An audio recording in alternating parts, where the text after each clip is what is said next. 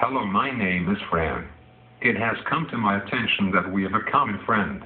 I am sure you know the importance of birthdays, not yours, but his.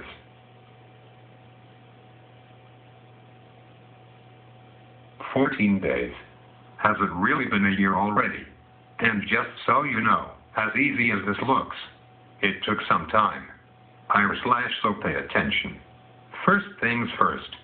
January 16th is a day that will mark the greatness that of which some call midlife, but I can assure you, this is only the beginning.